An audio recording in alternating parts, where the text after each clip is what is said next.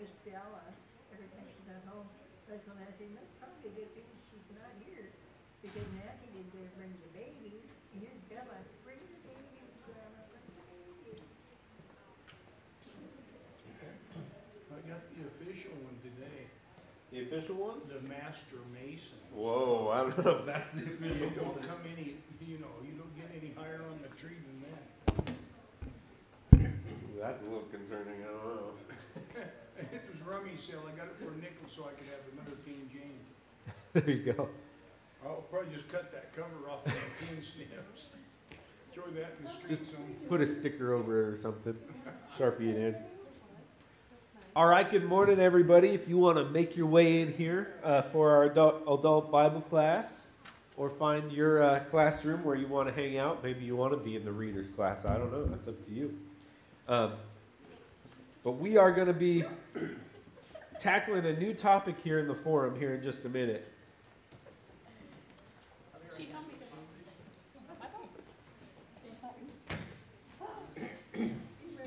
Whoa. Made it this whole time. Oh,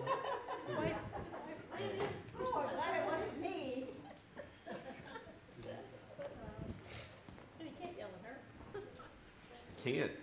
She, she said, I'm going to come in, press the button, because I have to go to other class. So she did it. All right. Well, good morning, everybody. Good morning. A little bit of a light crowd this morning, but that's all right. Um, last week, we kind of finished up our time of talking about the Lord's Supper. And, you know, I think that's something we could talk about for a long time. And I think it's, uh, like we talked about, something we take often. And so I think it should be a continual discussion. So just because we finished it in the forum doesn't mean that talking about the Lord's Supper is over. I invite you to continue at least thinking about it. Um, but I said that we would be tackling kind of a new section of the forum, and I said that we'll be looking at the thou shall nots. And I say that kind of in jest because I'm not going to go uh, Old Testament Ten Commandments on you, but rather I want to look at, oh, I was trying to think how I'm going to word this. Uh, maybe the modern church thou shall nots. Does that make sense to you guys?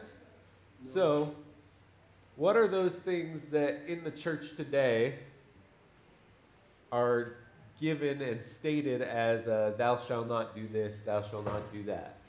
Are you talking scripturally or traditionally? Yes, it can be both because if we get a mix of both, we can uh, look at the scripture. Well, then throw dancing on the list. Okay, cool. We already got one that I have. Cool. All right, dancing.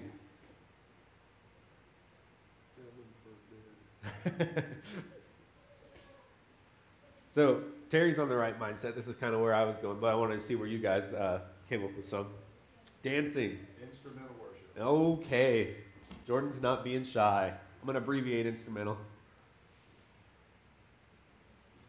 Uh, you can throw smoking and gambling on there. Okay, I'm gonna. s- I put Seven- gambling. Seven Um, churches. well, hey. Um, smoking. That's an interesting one. I didn't really think about, but we can maybe break it up into a different one. Smoking, Yeah, so you put the G on there. It's just Smoking. Smoking. Here, we'll abbreviate it. Smoking. There you go. there you go. What are some other ones? Uh, like you, like you said, it could be traditional. It could be scriptural. Um, if we have a mix of both, it's a good thing to explore. In the modern church, and you can even go outside of the Church of Christ or uh, within the Church of Christ, whatever you're comfortable with. One that Courtney made me think about, which I don't because I didn't grow up in the South, is uh, swimming. Actually, it's yeah. mixed bathing Yeah, is what mixed- they call Right. it. I actually think I put what I put on here. Oh, swimming together is what I put. Mixed swimming was how they had it in all the tracks and stuff. Mixed mixed bathing is Uh-huh, what there I you was- go. Well, that like, sounds well, even why don't you weirder. come back? I know. Mixed shower. That's like some different cultures than American cultures. Um, Ah, there you go. There's one. How about polygamy? okay, Terry, you're not allowed to say anymore. Oh, Poly, go, me, poly, uh? G A M A. A in between there? Doesn't seem right. Between G and N. G, yeah, G A N A. Okay, there we go. It doesn't. We know what it is. Too many than you need. Um, what else? I mean, there can be some kind of these ones that are a little more firm um, that I think none of us would recommend. We could even put like drug use on there. I mean, obviously, you shouldn't use drugs. There's uh, a lot of misinformation on the power of the Holy Spirit. Okay, You know, a lot of, a lot of things that are not given to powers of us, you know, disciple-like abilities. yeah, I'm thinking like, you know, uh, like Pentecostal. Right. Um, I might put a little asterisk on this one. We did spend some time talking about the Holy Spirit kind of at the beginning of the forum. If you think, I mean, we could talk about the Holy Spirit forever, so maybe I shouldn't open that up. But if you think of like a specific track, you're kind of going with, um, How about the gifts of the Yeah, the Yeah, miraculous. speaking in yeah. tongues. gifts, Yeah. I was like, I was thinking like spirit healers. Yeah. That's what I was going. gifts slash actions is what I'll put. Um, Ooh, that means you could put snakes up there too. How about? I'll put that in the, Uh, the screen, uh, there was a big thing eighty or hundred years ago about TV and movies. Should Christian watch, Christians Okay. watch so let's put that as entertainment. I, things that are bigger than, pr- or, you know, more realistic than print, I guess? Ooh, and then you could also put the military. Are Christians supposed to be in the military? oh man, and politics? okay, we might take all the time until Christmas on this one. All right, military. And politics. You can kind of run that. Oh, okay. Politics. We already got that in Hebrews a little bit, but we can maybe recap. That's a good one though, Terry. It is. He's asking for stuff. And Um, then, so the, uh, some of the obvious ones, um, you could just put infidelity for all the like adultery, fornication, that whole group. okay. Sexual, sexual sins. Sexual sins. I put, for that one, I put living together, specific sex, A. A-L. Um, The Greek word uh, for fornication is a broad sweeping word that means all sexual sins, all illicit sexual activities. yeah. All right. What else? Uh, another like obvious one that I think is a good one to stand on, but it should be talked about more, is abortion. Oh, Um, start getting low here. And with drug use, you could put drinking, or that could be an entirely separate. Oh wow, let's put it right here at the top. It's like I almost prepared something about that today. Drinking. mhm. I thank you for saying it because I was about to forget about it, and that's what we're going to talk about today. um, and then also, you know, you could put with sexual sins here, maybe in between. Um, divorce is also a good topic. That is a thou shall not, obviously, right? And I'm not saying it is or isn't. That's what we have this class time for. It's just uh, these are the topics that we prominently say, "Thou- "Thou shall not." You shall not be involved in this. Do you have any more that I didn't get up here? Multiple. Failing to, failing to meet, uh, not be here every Sunday, Oh, All yes, right. Attendance. attendance. Attendance. Yeah. Thou shalt not teach error. All right. False doctrine. Oh yeah, that that's a really good word there because that can open a lot of things, right? Yeah, the, uh, the one cup slash, uh, no kitchens. Oh.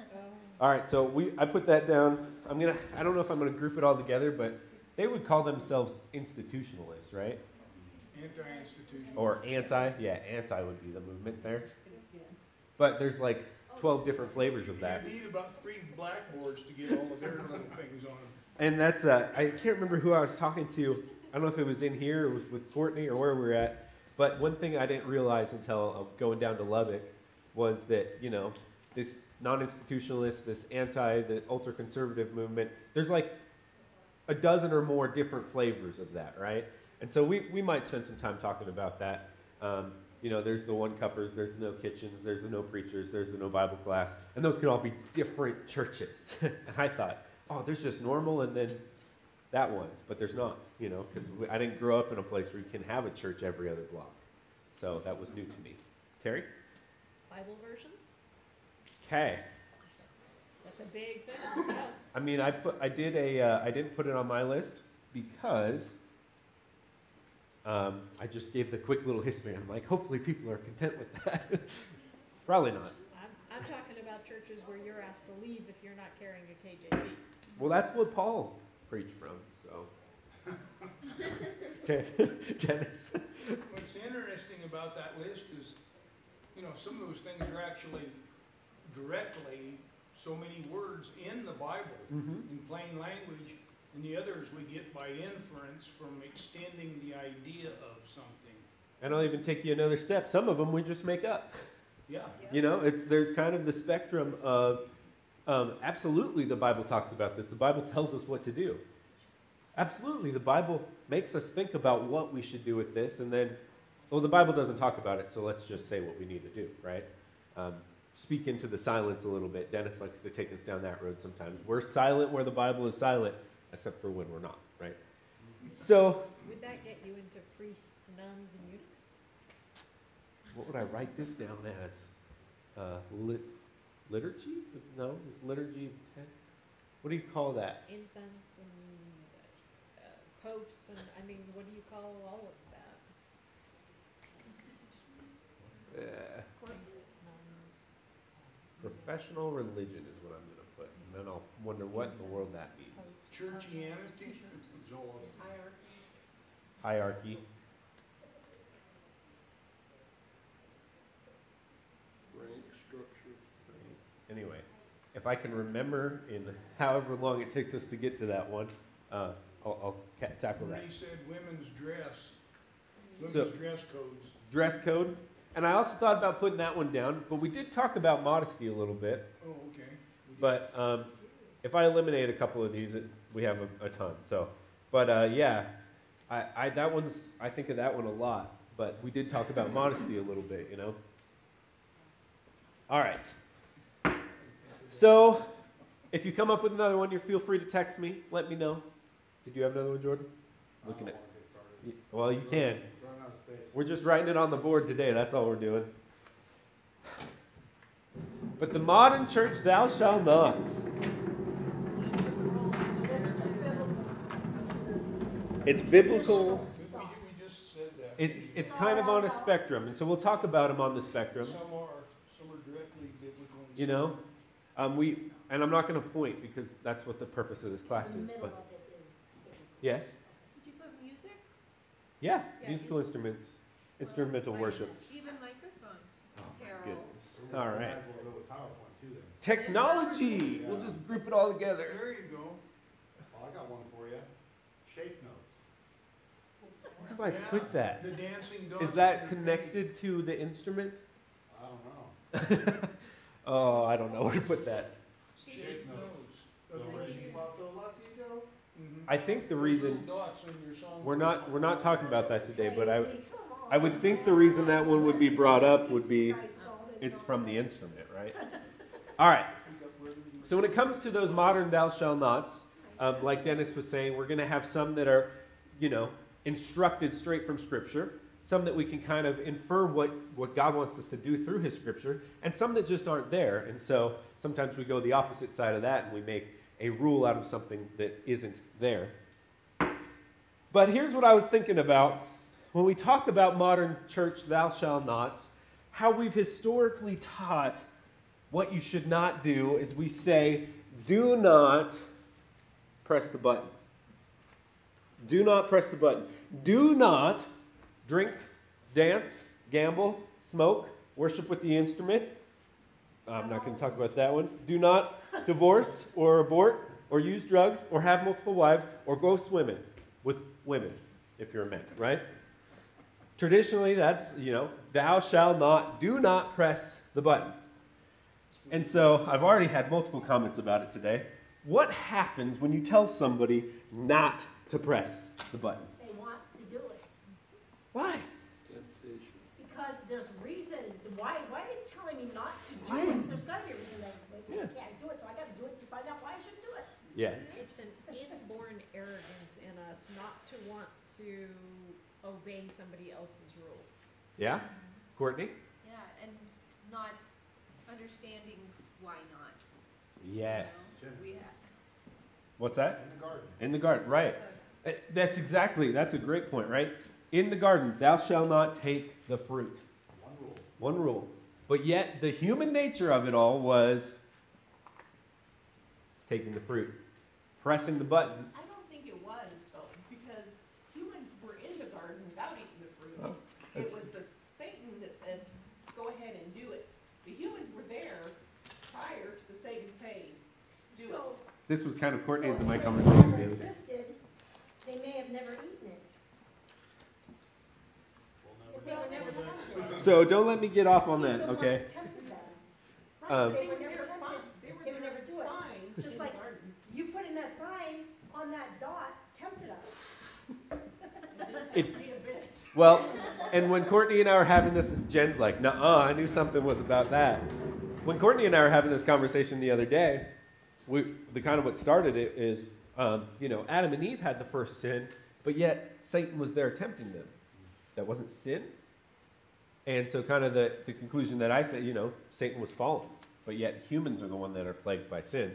But either way, whether you are tempted because of the dark works of Satan around you, or you're tempted by your human nature, or you're just curious because now there's a sign and I want to press the button.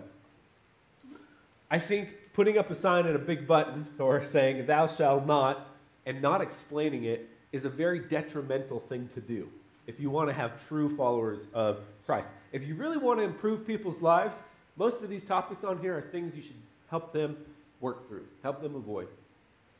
But if you really want to help people's lives, you're going to teach them why they're going to be helpful to their lives. Mm-hmm. You're not just going to say, Thou shalt not press the button. Mm-hmm. Terry? A lot of places used to put like "Do not open the door" type signs or "Emergency exit only," and now you see the signs that say "Emergency exit only." Alarm will sound when you open the door. Give a consequence. They've given a consequence, but they've also given an explanation That's true. of the fact that it's an emer- instead of just saying "Do not go," you know, don't open the Now it's door. still open the door. They've given them an explanation and a At consequence. courthouse. Yeah. So, Absolutely. So, That's Monday. I think we're going to have plenty of, uh, plenty of topics to talk about over the next weeks, and we might get to talk about this first one for a couple of weeks since we've had this introduction. But one of the very first ones I put on this list that uh, often is uh, do not press the button. It is thou shalt not drink, right? Guilty. Guilty of saying that, is what you're saying. No, I'm guilty of drinking Okay, well, alcohol. confession time, I guess, right? All right, so we'll get to talk about that for a second. Um, who else here is guilty of drinking alcohol? Let's see. yeah, uh, multiple. Did you have a comment, Jordan, before I I was just gonna put you on the spot? That's such an un, unteached area in the church. It is. And I mean, it says, what is it, Timothy, Paul says, you know, we- you can't, you can't be given too much wine. Yeah. And then an elder not given to one. And then, you know, just that whole, my wife's grandfather. Yeah. "How you know they were drinking wine? Well, yeah, I know. Yeah. All right, Courtney. Um, I don't drink, yet I'm drinking, guilty of drinking alcohol because I've had vanilla pudding, I've had cough syrup, I've had sourdough bread. There's all, kombucha, I've had kombucha. There's small alcoholic content. Just saying, just saying. Huh, so anyway, oh, Dennis, go for it. I, I, I don't mean to distract you, and I, You're good. I wanna get right back to this, this one, but a, a second ago on the pressing the button deal, in our, uh, our craving to do what we're told not to, there's a lot of places in the Bible, and right now I can't even think of one, but where God simply says, don't. But there's a whole lot, and I think probably a lot more percentage-wise, that we're gonna say don't because, and we're Yes. blessed when he gives us that because, cause then we can understand the thing. Uh, the other, the first one I would call, we obey it out of sheer, either the fear of God or blind faith. Yeah. And the next one we obey, the one with a reason or two, we obey because it's a reasoned prohibition. And it appeals to our sense of reason and understanding. However, we as saints, whether back in the days of Moses or now or Adam, we gotta do the thou shalt not, no matter what reason there is or ain't. Another kind of a human trait, I guess you might say. So, let me let me just throw this out there before we start diving into the scripture. When you take the topic of drinking, alcohol, that's what we're talking about, right? Not coffee or water. But when you take that topic, is it one of those topics that is given black and white, yes or no? Or is it one of those topics that's given with a little more explanation? More explanation. Why do you think that? Well, uh, A little devil's advocate. I mean, being married to an alcoholic, my ex-husband's an alcoholic, and I think my son Brandon is an alcoholic. I wish he would never, ever drink ever again. Yes. Um, none. But somebody who, like me, I can have a drink and go months and months without ever having another one. Mhm. Yeah. I, it's not something that, but I wouldn't want to drink, have a drink in front of my son, because I 'Cause you wouldn't know- want him to be tempted. Okay. But, so, there, I wish, you know, there's some, some people that should not ever drink because they can't control themselves. I got that in here. Don't worry, we'll get there. But as an example, if you look at when, um, Samson was conceived, Mm-hmm. the angel told Manoah's wife to abstain from drinking alcohol, telling her that not to stop drinking just while you're pregnant. Yeah. Uh, And then she could go on and drink some more. Jen's really, she's got, that's a great answer. Dennis, did you have another one? The, yeah, that's, that's just one, the, the Bible, Old and New Testament both, give lots of reasons, uh, why drunkenness is troublesome. Dennis is already getting us there to the word. Okay, Courtney? Alcohol has many benefits, from medi- medicinal to, I mean, when used in moderation, a slight comfort for hard days, you know? Yeah. I, Yeah. I think our friend Cameron got in trouble, but in class at Bible school, preacher school, he said, they were talking about Old Testament, God took away the wine to punish the Israelites, and he said, does that mean that wine is a gift from God? he got in trouble, but, but I think You didn't it get is a gift from God Yeah. when used correctly. Nancy, did you have another thing there? Oh, I was just thinking, I've watched some of those old western movies, and when they're doing operations, they sit there with the whiskey bottle. Yeah. Yeah, I can't even. So to numb the operation, I mean, Absolutely. First Corinthians, you know, we, we know that the first century church was drinking and getting drunk. And, and Because They were, Paul specifically addresses that in First Corinthians and in Ephesians. So, kind of my broad survey of that, the reason I, I wanted us to think about that is I think, yes, I think this is a topic where the Bible um, gives reasoning, right? It doesn't just say no, yes, maybe. It says, uh, just if you look, you take a look at the Bible as a whole, Old Testament, New Testament, you guys were going there, and I like it. Um, there is lots of reason to be not given to much wine or to take wine or whatever. Wine is the biblical term for alcohol. Um, and so I think it is one of these topics that is given with reasoning, given with some thought behind it. But yet, and I'm, I'm not harping on our history, but yet our, in our history, we usually have had it presented to us as if there is a Bible verse that says, Thou shalt not let a single drop of alcohol pass from the lips to the mouth, you know, whatever. Um, and historically, we have taught it that way, but there's a lot of reasoning within the scriptures. So why don't we reason together? That's kind of my thought process on most of these topics. Why don't we reason together? I think a lot of it is, uh, at least, there are people that are afraid to address those controversial issues. I've learned that, especially with instrumental worship. Yeah. I've had people tell me that they've never heard it explained the way that I would say it, explain it, because it's never taught. Yeah. No one ever teaches why. Yeah, it's never taught us. Up here it is sometimes. You'll find we might not be that group, which is good. We're trying really hard. Nancy? well, and then we, uh, as being Church of Christ my whole life, my, the explanation was the first, we want to be, as most like the first century church. And they didn't use instruments. That's why we learned to use instruments. That was their explanation. Yeah, that's another topic though, you guys. You gotta stick to what we're working with. Okay. I was not drinking. Drinking. Drinking. If you look at the wisdom and the teaching and the understanding of the scripture, you can find a lot, right? And I'm, I'm just going to scratch the surface. Um, Book of Proverbs, chapter 20, and I'm going to look at chapter 23 as well. Proverbs is kind of that wisdom book, right? If, you, if you're trying to figure out how to get through something in life, there's probably a line or two in Proverbs that would give you some healthy advice. And, and that, um, when we taught Financial Peace University, you know, even money issues are in Proverbs.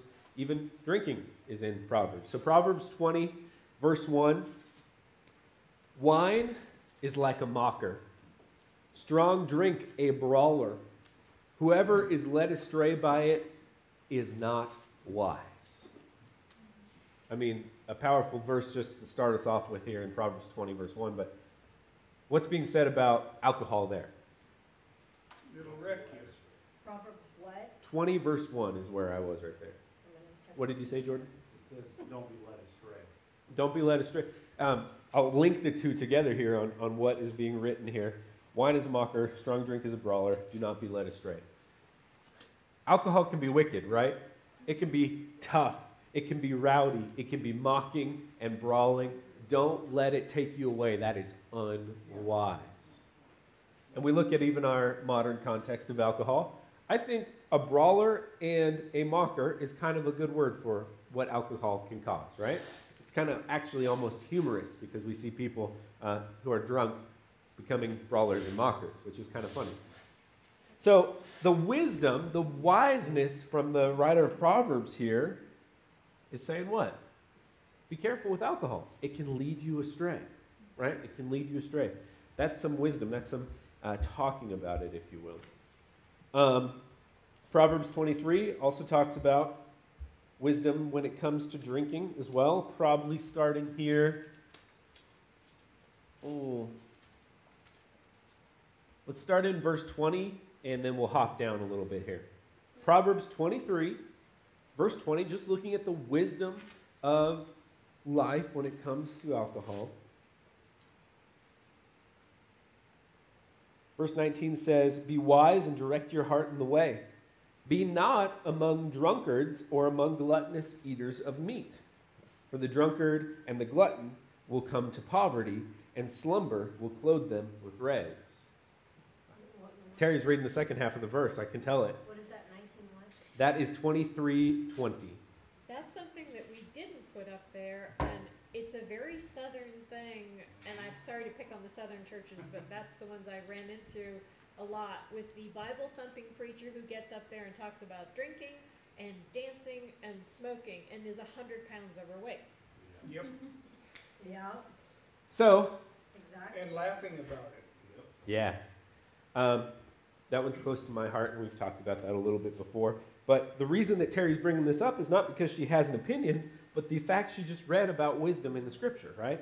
Proverbs 23:20, we had the drunkard in the same sentence as the glutton.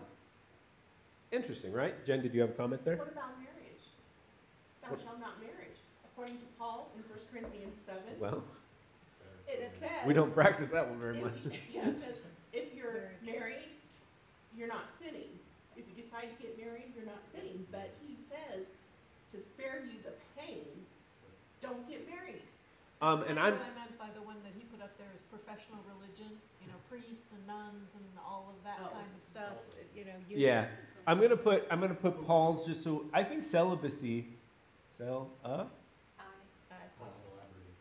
Mhm. It's, it's just like celebrate, only opposite. a is this right? I'm celebrating. I know what it means. That's not right at all, but whatever. Um, celibat. Okay, we're good. Um, that's another good topic, right? But I'm, I'm trying to keep us on trying to keep us on drinking, guys. Okay. But I think I think Terry's got a good point here. In the same uh, piece of wisdom, we have the drunkard and the glutton in the same sentence. Why? Why are those unwise things to follow down the path of? In this proverb, exactly. My, my wife's grandfather always says, uh, too much of a good thing, or too much of one thing, pursuit of one thing holds. Yeah. It destroys lives. That could be kind of the focus. Mm-hmm. Larry? Lack of self-control. Lack of self control. Courtney? no, skip me. No. Nancy? It destroys lives. My first Yeah. husband was an alcoholic. He, was horrible. Was horrible competing with the bottle. Yeah. He just, it's destroyed our marriage, it destroyed my son Brandon's, uh, uh, having his dad in his life, and he's still angry about it to this day. I mean, it's not, alcohol, he, and he texted me, said he's hundred twenty days sober, so hopefully he's got a lick in his fifties. Yeah. So, and I think the I think these two verses that we read here in Proverbs already uh, speak into that, right? Because for the drunkard and the glutton will come to poverty; their slumber will clothe them with rags. What what kind of imagery is given to us? It's it's going to take everything from them. My ex-husband was homeless. Yeah. Many, many, many times living on the streets. And again, on to Terry's point, I'm glad we put it up there because I wanted to. But on to Terry's point, we don't usually think that about gluttony, but we do think that about drunkenness. We see it happen in our culture, right? So it'll take away everything, and you'll be left with nothing. You'll be left homeless. You'll be left sleeping with the rags and in poverty. Your feet rotting. Your feet rotting. All right. Let's look at verse 30. Oh, Dennis, did you have something there? I'm sorry. Okay, don't lose verse thirty there. Okay. But, uh, this, one preacher I know, he got up in front of the church just a ranting raving, yeah, he was from Tennessee. And he was raging about alcohol and he put in some pretty cute little human, in his mind, logical arguments. And he said, well, I got a friend that says, takes, takes, uh, him a six-pack and a half to get drunk. And I told him, well, and he said, so can I drink one can? And he says, well, then I'd be one-tenth drunk, wouldn't I? And, and, uh, uh, and, and he, and he thought that was real cute. But this guy loved to eat. Now, one big plate of food's nice. Uh, is, uh, is three gluttony? Yeah, Virgil, uh, three is gluttony. And, uh. So you uh, better not three be eating. plates are gluttony, so is one plate, you're one-third Yeah. And he didn't see, he couldn't follow the math, his own math there. And that's what Courtney was getting onto. And Courtney, uh, Courtney's growing up shines through sometimes. But, you know, that logic really falls apart when you start, well, what is alcohol? And, and you go down kombucha, okay, that's pretty alcoholic, you know, it's, as far as not alcohol alcohol goes, right? Cough syrup, you go down that road. You, you can keep going further and further. You go vanilla, yeah, that's alcoholic. You go, you go to uh, bread. Bread has fermented the yeast, and it is actually alcoholic to a degree, right? So are you one one hundredth of a drunk? Yeah. See, and the, the logic kind of does fall apart on that. Back to your verse then. But I'm just, I'll, I'll get us there because we're going to have two weeks on this, no doubt. But I think there is wisdom in being cautious with alcohol, and I think Proverbs shares that. Um, 20 verse 30, again, 23 verse 30, sorry. We were in 20, but now we're in 23. 23 verse 30. Woe to those who tarry long over wine, those who go and try mixed wine. Do not look at the wine when it's red, when it sparkles in the cup and it goes down smoothly. In the end, it bites like a serpent and stings like an adder. Which one was that? That is Proverbs 23, starting there in verse 20. It's in the woe, woe to section, if you will. That is about as close to an abstinence one as I've seen. Yep, abstinence. So I, let's just bring the principle out of it, though, with the wisdom of it. What is this saying about wine or alcohol in a, in a wisdom sentence? It bites sometimes, right? I think that's kind of exactly how it ends. In the end, it bites like a serpent and stings. I think here it's talking about addiction though, because the last line of twenty-three is when will I wake up so I can find another drink? Mm-hmm. So I don't think you're talking about drinking, I think, think you're talking About- about being addicted. Sure. Uh, let's, we can go ahead and read through the end of the chapter there. Uh, so I ended at 32. Let's read 33 through 35. Your eyes will see strange things, and your heart will utter perverse things. You will be like one who lies down in the midst of the sea, like one who lies on the top of a mast. They struck me, you say, but it was not hurt. They beat me, but I did not feel it. When shall I wake? So I must have another drink. So I think Terry's kind of right here.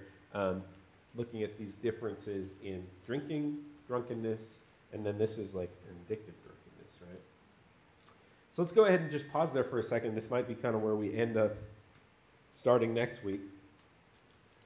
But on to Dennis's comment is there a difference when it comes to Scripture between drinking and drunkenness? Yeah. What's that? Timothy. Timothy. I would say, actually, unless you can prove me wrong, all of our New Testament references will be talking about drunkenness. And, and in, a, in a negative light of, of you should be careful is about drunkenness. We can also go with Timothy and on the positive side of things, have a drink, right? And we'll get there eventually. Um, so I think it's important for us to identify that there is scripturally a difference between a drink and drunkenness. Or, you know, like here, actually, Proverbs 23 does a very good job of describing um, the differences in wine. You know, this is describing a very specific wine that must have been the good wine, if you want to use that word, right, Dave? I was just gonna say, uh, it's very, very, very common analogy used not necessarily just in the South, but I've heard it mostly there, is the- approaching uh, the difference between drinkiness and drunkenness. Mm-hmm. You can't be just a little bit pregnant, Mm-hmm. okay? So if you have a one drink, you know, you're. You're fully drunk. Yeah. Yeah. I've heard that a lot too. And then the road that that goes down, because if you if you think about it too much, you'll start to realize that there's going to be some problems if we're reading about Jesus and we're saying you can't have one drink, you're fully drunk, right? Because Jesus' first miracle was turning water to wine. Their culture drank wine. Um, Jesus shared wine at the Lord's Supper. And so, if you start to think that way, then we have some other problems we have to solve, as if they're not already solved in the scripture for us, right? So, therefore, Jesus on that first miracle, he made new wines. That means that he, you know, that good wine was actually just grape juice. But I would disagree with that pretty deeply theologically because the interaction he has with the um, master of the feast says, You waited to bring the good wine till now, but usually people wait till everybody has drunk all the other stuff. You know, they're usually the opposite way. Sorry. They bring out the good wine first, get everybody good and drunk, bring them the bad stuff, right? But you've done the opposite. Well, how? Obviously, the context there was alcoholic wine if people are drunk, you know? It's like I, I can't connect the two there, right? Or, um, yeah, you, could, you have to jump through a lot of different things there if you want to prove that you shouldn't have any alcohol ever because Jesus did. You might talk about this next week, but Welch, Mr. Welch, I wasn't going to talk his about it. name, it's like Charles Welch, was not born until eighteen ninety-three or something. And so therefore, there was no way to keep it from fermenting. So no matter, no matter how new it was, it immediately begins to ferment a little microscopically.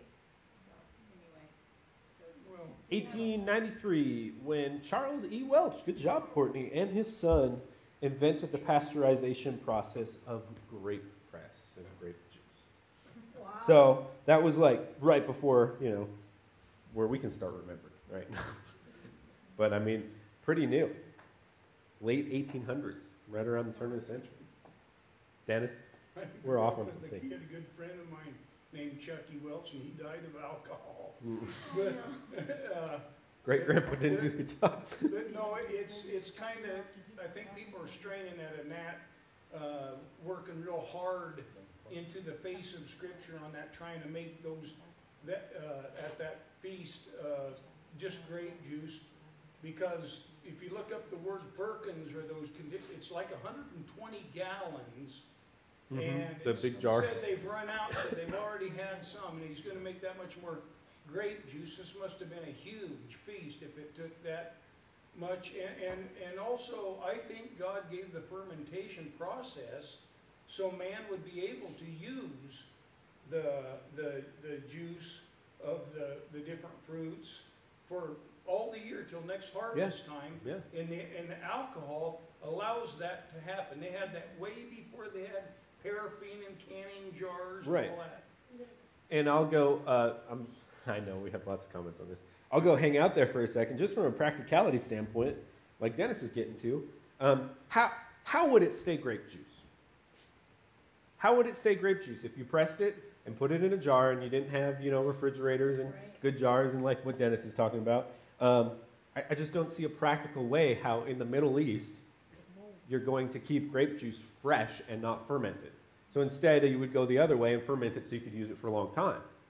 And so that's kind of my logical thinking process on that, because that's a, another piece of the, the Welch his, history is we didn't really have refrigeration until 1913 or something very mass, right? So In Yeah. a lot of places in the world, sorry, when- whoever. in, in a lot of places in the world, it's a lot safer to drink a mild wine than it is to drink the water. Oh, absolutely. And I, I, I would think culturally that would make sense there too. Have you seen, we, Courtney and I have been laughing about this a little bit. Have you seen the, the bodies of water that we're talking about in Scripture? It's like, we're like, that's a river. huh? Oh, that's a body. It's like we're kind of in the desert here, the high mountain desert, basically. And uh, it's like eh, that. That's what you're washing in, huh? Interesting. Body's a good word, an old camel floats by. Nancy, Courtney. I'm just thinking, doesn't, uh, that- that, uh, ferment, um, helps kill parasites and Mhm. things? Yeah. That's why it's safe. Yeah, so you're going on some practical reasons. Courtney and then Dennis. Okay, mine's kind of after. I was reading a book about plants of the Rocky Mountains, and I kept seeing these common names, nightshade, uh, I don't know, but plants were like, oh, you don't eat those, those berries are poisonous. And then under it, it says, Native Americans use this to cure this disease, this disease, this ailment, this. And it's kind of confusing, like, this is poison, but it cures these. And we know Satan can't create.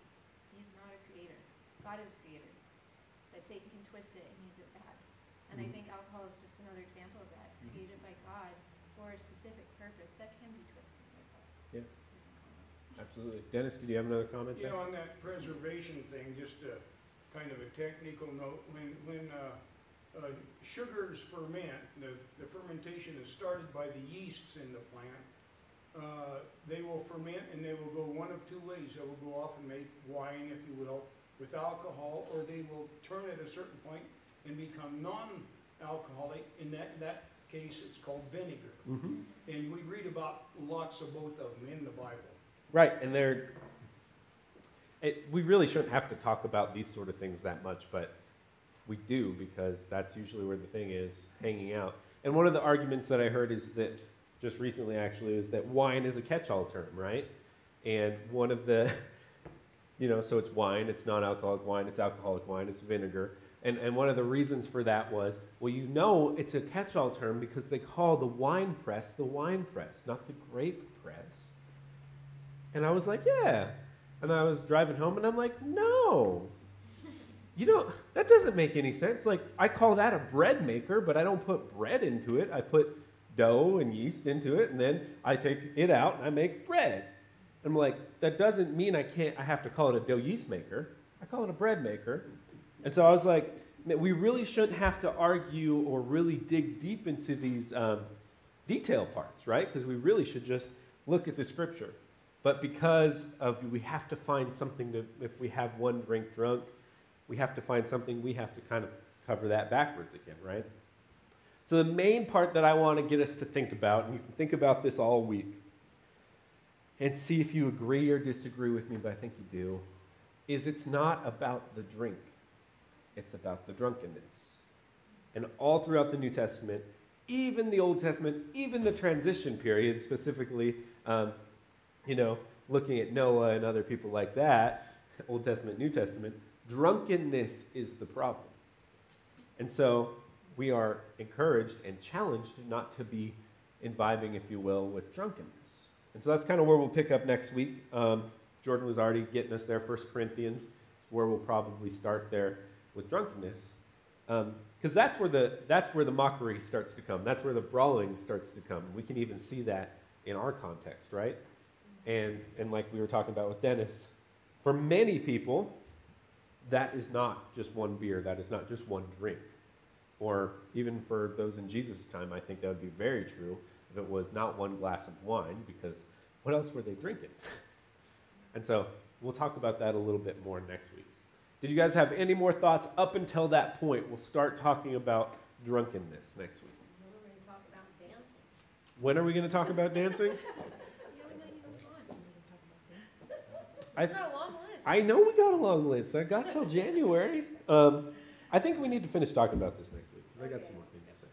A, a side thing on that, being you asked for just one more little thing. On the drinking or intoxication, and I would rather, uh, the drunkenness thing, it's interesting how far into the future for mankind the Holy Spirit seen for. I mean, this was, he was given all those don'ts way before the days of car wrecks and airplanes Yeah. colliding. And, uh, it's still good stuff, but then we get down on that last word down there, tech, and, uh, uh, there's a whole bunch of things we're doing right now the Bible doesn't foresee in plain Yep. words. Yeah, that is interesting to think about. Um, and I mean, we're we'll talk about that come in the coming months. But Jen, There's one in the Old Testament that does not apply to the New Testament, and thou shalt not forsake the Sabbath. Mm-hmm. And in the New Testament, it's gone away with. And I was gonna say that probably will apply to, uh, Where- Attendance, where did I put that? Right here. top of the middle. Sabbath can be a part of that. Because that has changed. Again, just like most, most of these things can be explained by what's the point of Jesus? Well, he came to not create the law, but to create the heart change, right? And so that's on the most, that's on the most of these. Um, on, on the tech note, we're not talking about it. We're done with time, Dennis. But I, my favorite thing is whenever we start getting into the some of those that are not talked about within Scripture, because they, you know, didn't exist.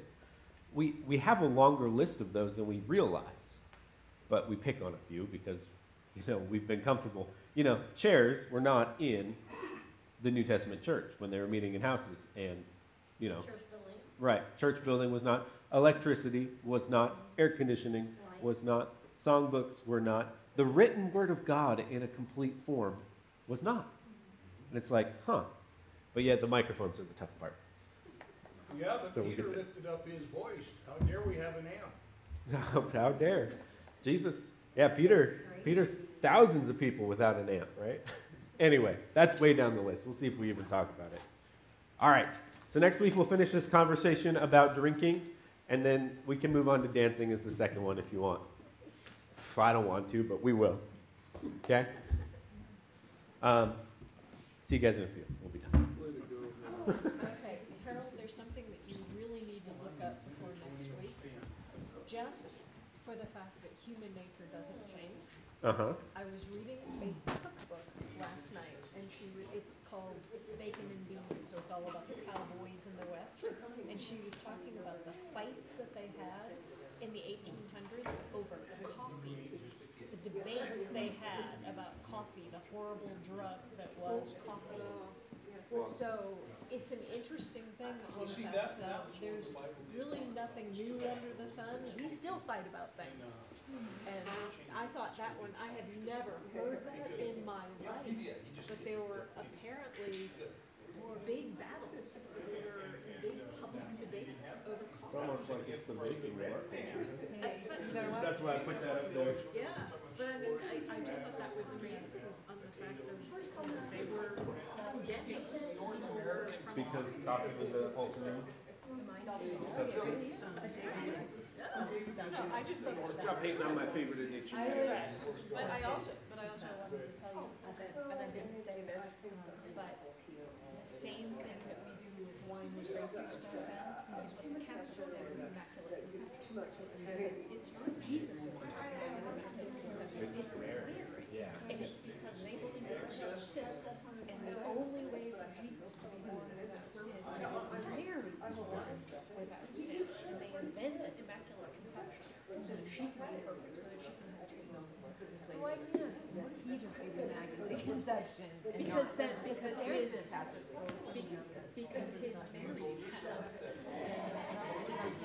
Because you inherit it. But they had double, you know, like double parents had to not, had to not pass you know? Like why couldn't her have? When you get bored, can you help me get the board and the thing back? but that, that is the big thing. They had to invent Well, that's what we were just talking about.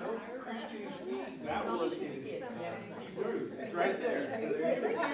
We start with that, we start with a, this is what I think, and then we go backwards and invent stuff to justify it. And you pull a little string of the Bible verse and like find it or not, and say this is a commandment. No.